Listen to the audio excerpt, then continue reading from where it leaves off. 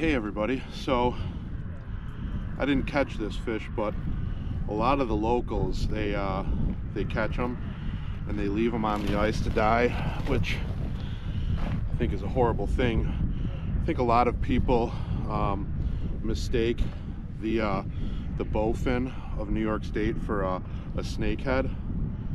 And the way you can tell the difference is both have a, a dorsal fin that's connected but on a bowfin you have that telltale spot. But also um, you have the anal fin which is segmented. Bowfin has a segmented anal fin while a northern snakehead has one continuous anal fin. So uh, this is a bowfin. It's a beautiful animal. Uh, it was still alive when we found it on the ice so I'm gonna I'm gonna let it go because it's a shame to uh, to kill an animal just to kill it, okay? A few more facts. This is a prehistoric fish that dates back to the Jurassic era, and it's the only surviving species of its order. Uh, it reaches reproductive maturity at age 5 and lasts about uh, 12 to 15 years.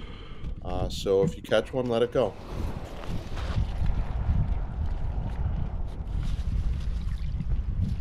There it goes and they're a pretty hardy fish so that one should be just okay